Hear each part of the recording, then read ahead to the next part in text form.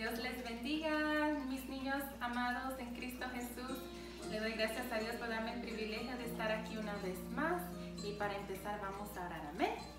Padre bendito que estás en gloria, Señor Jesús, te damos gracias, Padre Dios. Te damos gracias, Señor, por este momento, Padre. Te pido, Señor Jesús, que tú bendigas a cada niño, a cada niña, Señor.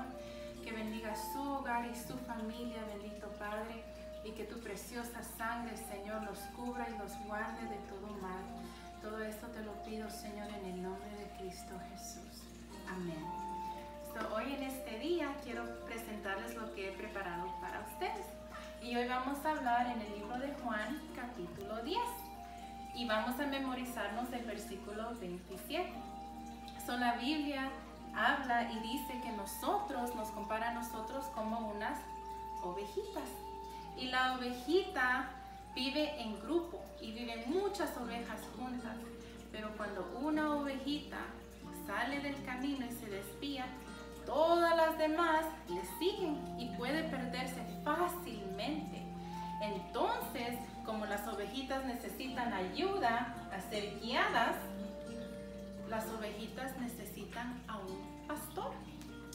Y la Biblia dice que nosotros somos las ovejas pero que nuestro Señor Jesucristo es nuestro buen pastor.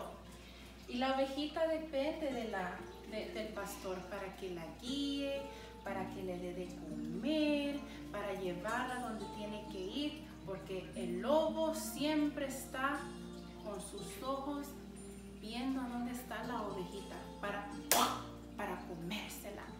Pero la Biblia dice que el Señor Jesús es nuestro buen pastor y que Él nos cuida y Él nos guarda, porque el lobo es el diablo. Pero si nosotros tenemos a nuestro buen pastor que cuida de nosotros, nada malo nos va a pasar. La Biblia dice que Jesús es el buen pastor y nosotros somos sus ovejas, pero que sus ovejas le conocen y oyen su voz. Y si tú, no sé si tú sabías, pero hay gente que a veces quiere intentar hacerse ver como el pastor de las ovejas y empieza a llamarle y empieza a hacerle ruidos, pero las ovejitas los ignoran y no les hacen caso. Pero cuando viene su pastor y empieza a hacer el sonido con el que se comunica con sus ovejitas, todas las ovejitas vienen y le hacen caso. Y encontré un video y lo voy a compartir contigo y voy a poner el link abajo para que tú puedas ver cómo las ovejitas conocen perfectamente la voz de su pastor y también tú y yo necesitamos aprender a conocer bien la voz de nuestro pastor, porque así el lobo no puede venir ni nos puede dañar ni nos puede hacer nada malo. Y quiero compartir este versículo contigo. Se encuentra en Juan 10, 27. Y dice, mis ovejas oyen mi voz.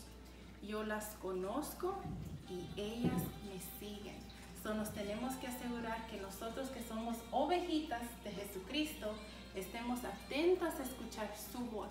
Pero ¿cómo vamos a escuchar la voz de Dios? A través de leer su palabra.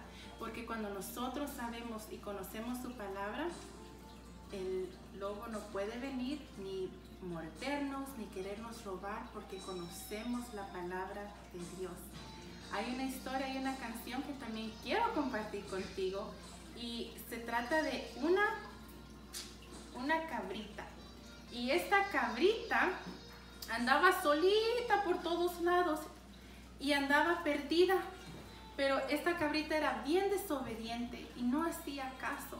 Entonces un día esta cabrita le oró a Jesús y le dijo, Señor Jesús, yo ya no quiero ser desobediente yo quiero ser una ovejita y quiero que tú seas mi pastor, porque así ya no voy a andar perdida y no voy a andar tan solita. Y esta cabrita decide seguir a Jesús y decide obedecer a su pastor. Y así tú y yo tenemos que seguir y obedecer la voz de nuestro pastor. Amén. Dios te bendiga. Espero que hayas aprendido algo hoy en este día Dios te guarde y recuerda, ¿ok? Juan 10, 26. Mis ovejas oyen mi voz, yo las conozco y ellas me siguen. En inglés dice, My sheep hear my voice, they hear my voice, and I know them, and they follow me. So let's follow Jesus. Amen. Sigamos a Cristo. Dios te bendiga. Adiós.